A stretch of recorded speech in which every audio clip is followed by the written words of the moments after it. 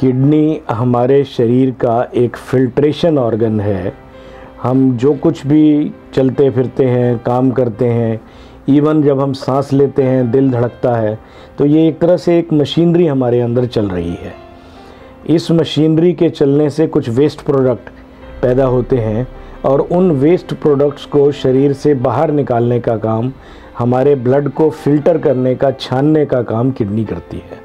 और ये waste product जो हैं यूरिन के अंदर मिक्स होके और बाहर शरीर से निकाल दिए जाते हैं।